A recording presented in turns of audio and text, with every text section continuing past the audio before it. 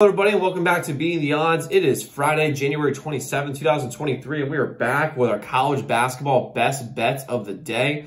To recap yesterday's results, it was rough. We got crushed. We went one and three yesterday. We had Arizona State minus two and a half. They played like total and utter dog shit.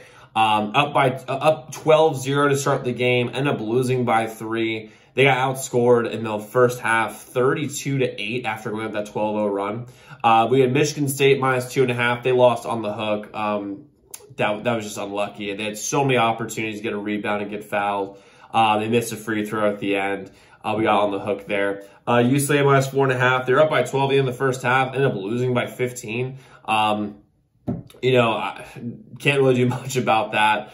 Um, you know, but I still think UCLA is a real deal, but just a tough day yesterday. And then we had Michigan. Um, we had University of Michigan plus five and a half. They end up getting a win against Purdue. They end up like they end up losing by four. Uh, we had them plus five and a half. So overall, one three day yesterday. But overall for the season, we're just under sixty percent for the year. So we're still in great shape. Um, and if you're new to the channel, uh, my name is Zach. Welcome to Beating the Odds. Um, you want to hit that subscribe button, hit the like button, hit the notification bell so you never miss a pick. We post these videos every single day. So check out our NBA video today. Uh, check out our NFL video that's coming out today at 4 p.m. Um, we're going after our first 100 subscribers, so I'm really excited to have you all here. Let's win together today and let's make some money. Let's steal some money from the sports books. Um, now, we have two picks today. I'm not going to lie the slate today in college basketball kind of sucks. not gonna lie, no, there's not really any games that are that are really like grabbing our attention as far as interest goes. Um, just if you're just a casual fan, but there's I, I, see two places where you can make some good money today.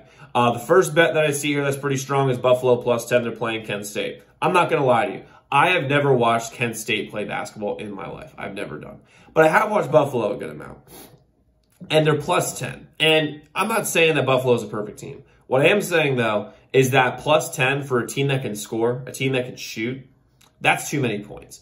And I can see Buffalo backdoor covering here if Kent State's really that good. But I think this game's going to be a lot closer than people think because Buffalo can absolutely score with the best of them. They hung with Toledo the whole way last week on Friday. And we had Toledo minus five and a half. They ended up getting the win. Toledo did.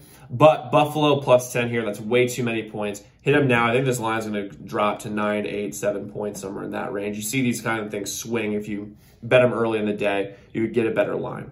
And then our second bet of the day is going to be St. Louis minus a point and a half at Davidson. You could take the money line if you want to be a little safer. But I see St. Louis being a much better team than Davidson. All the dumb money, all everyone and their mother is all over Davidson because Steph Curry went there. Oh my God, they went to the tournament last year. They're not that good. They, they're, not that good. They're a 10 and 10 team this year. Um, St. Louis is much higher than the KenPom rings. The fact that there's a point and a half favorite means they're substantially better because they're playing on the road against Davidson. And that means if this was at home in St. Louis, St. Louis is probably a five, six, seven point favorite.